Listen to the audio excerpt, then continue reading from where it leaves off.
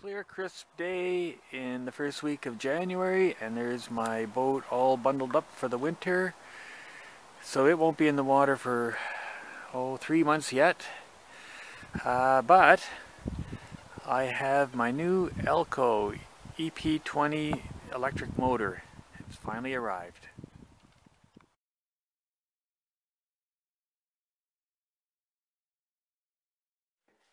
Well my uh, Elco 20 horsepower electric motor has arrived. Uh, this is after two months uh, waiting. It was delayed due to uh, parts shortages, um, due to the epidemic. You know, I think this is a common theme. Anyways, uh, it has arrived today and uh, I'm going to do an unboxing.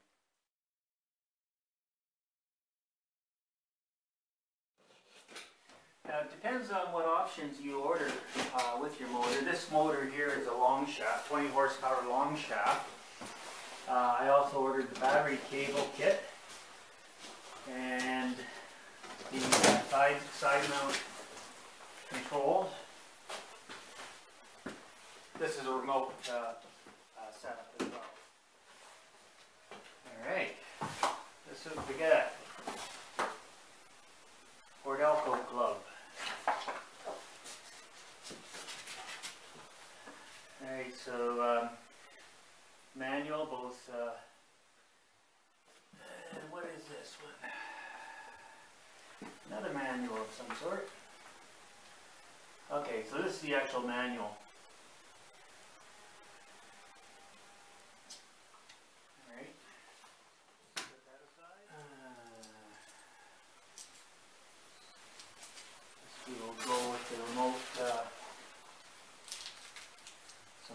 sure how that sets up yet. Some bolts.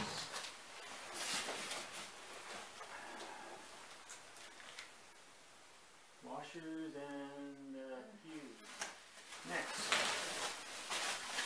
This is the uh, battery cable kit. Lots of styrofoam.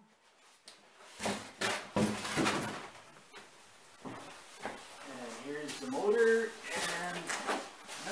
this must be the, yeah, this is a side mount controller. The only thing left in there is the motor itself. Alright, there's the, uh, there's the Elco motor. Very nice. So that is, uh, according to the spec, is 85 pounds. And it feels like 85 pounds. So I could get a good uh, get a good look at it.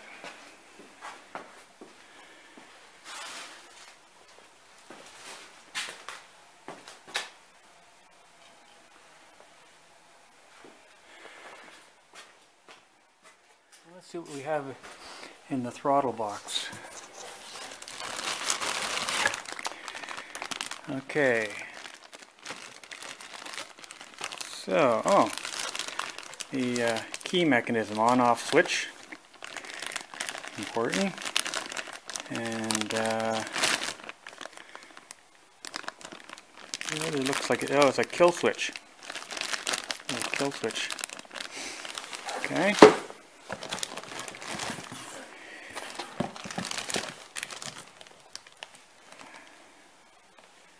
This is the connection in that goes right to the throttle itself. And this is the part that plugs into the motor.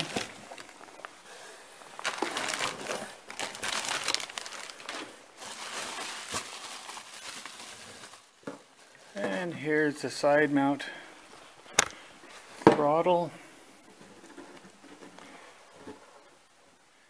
Lavorsky. So I moved indoors from the garage because it's cold out there. This is the first week of January, so won't be uh, mounting the motor until uh, probably April. This uh, this is the linkage arm, and uh, the manual doesn't uh, really show that, but it's pretty straightforward linkage arm that you'd find on other uh, outboards. Uh, this part here connects to the front of the motor with a little bolt provided. So that's pretty straightforward. A little bag of spare parts. And in that you have a 10 amp fuse, three little rings, they're kind of like O-rings, and a cotter pin. So these are uh, various parts and that, so the cotter pin is for the propeller, the uh, small rings are for when you change the, um, the gear oil, and uh, the fuse, it's a 10 amp fuse, and still not sure where that goes. Um, I possibly I, I, don't need it. it uh, could be used in an application uh, for possibly the, uh, the Victron um, uh, meter. Not quite sure. This is the battery cable. This is uh, two gauge um, marine grade wiring. Uh, it also has a fuse, 250 amps and Anderson connector. Now the entire length of this is uh, 7 feet. Uh, so that means I'm going to have to reconfigure my battery for uh, to put more towards the back. So I'll be moving it back to uh, probably its original position. The battery kit also comes with uh, three 2 gauge um, jumper cables to go between the batteries.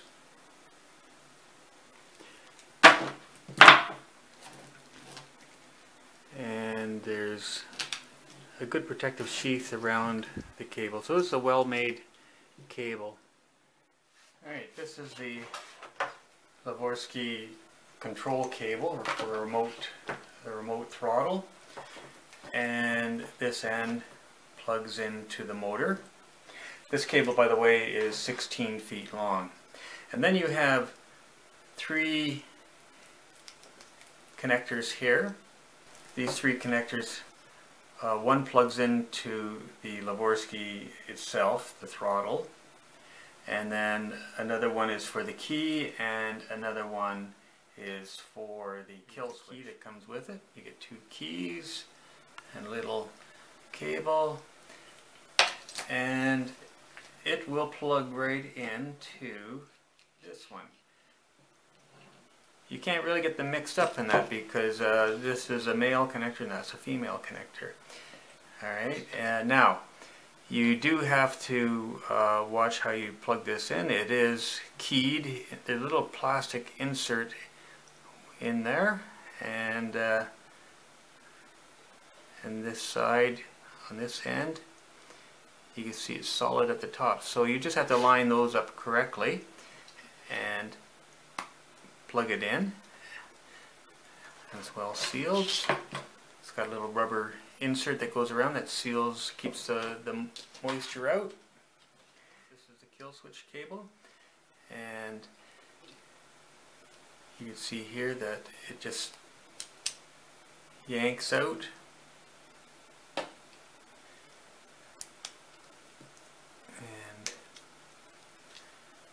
plugs right back in. So you'd hook this onto your belt or whatever.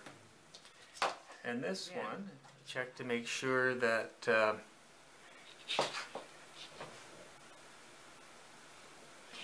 you can see the little plastic insert in there. So just make sure that is set up so that uh, it's keyed. Make sure that this is keyed correctly. And there you go. That's set up. The last connector. This is for the Lavorsky throttle. Now, you notice that there's two cables.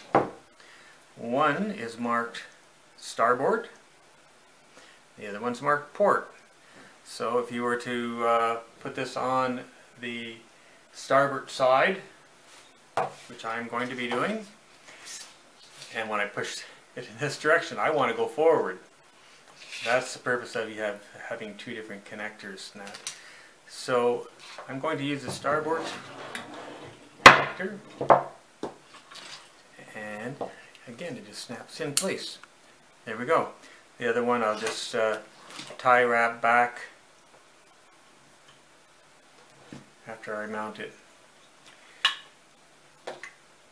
So here you have on the Lavorsky throttle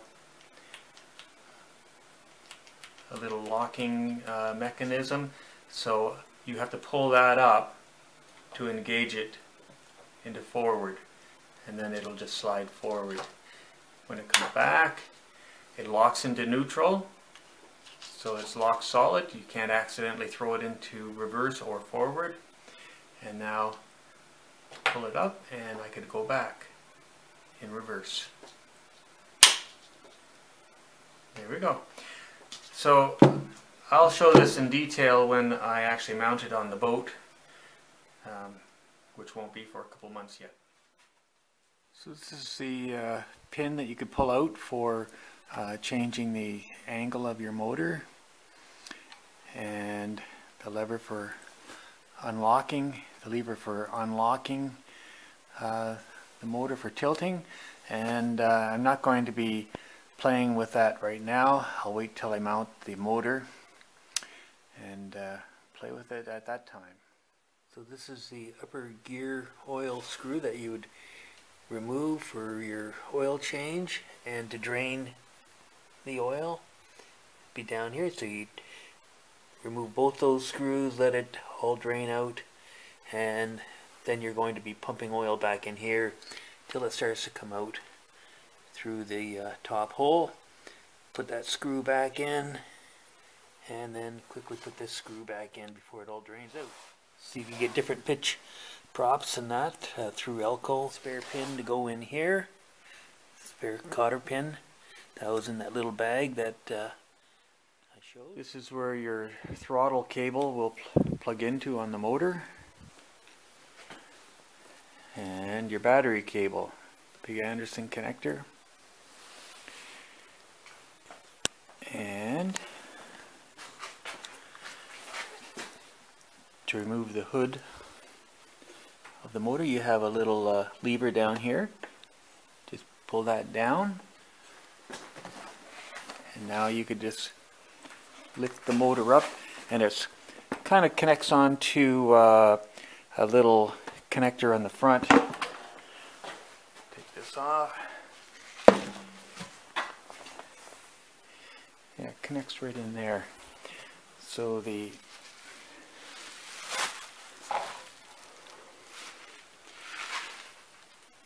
this little metal uh, clip will go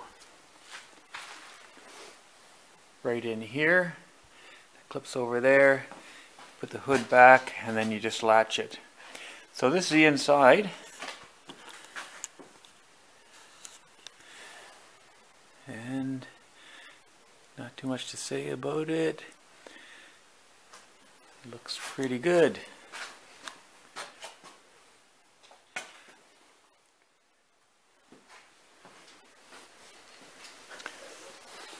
So to put the hood back on, you want to first metal lever right there.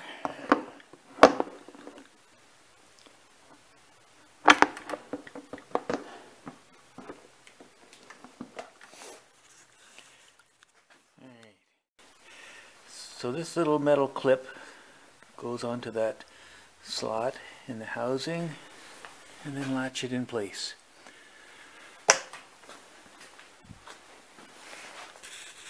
This little hole right here is where the link arm connects to. So it just bolts up through there. So pretty straightforward. This little tab here is for tying a rope on too, I guess for safety. Um, I'm going to be bolting my motor right to the transom so won't have a need for that. And this is the manual that comes with the motor. And a lot of people will not read the manual, but uh, I recommend reading it from uh, beginning to end. I need to put my identification number down on, on here, my serial number. Propeller selection, installation, mounting height rec- recommendations, clamping the outboard. And here is uh, what I just demonstrated on the throttle control mount. Lots of good information. Cruising in shallow water recommendations. Removing the propeller, putting a new prop on. Changing the gear oil. And then there's a maintenance table. How to transport it and store it. Emergency situations. And troubleshooting faults and warnings. So there's a number of uh, fault settings here and there's a little LED that uh, will flash on the motor if you're having issues and you can see that two flashes, a throttle control fault, three flashes, hardware overcurrent trip activated and so on and it goes through a whole list all right so anyways be aware of these uh, LED um, indications for uh, for different faults. So if you see your LED flashing consult your manual. And that is it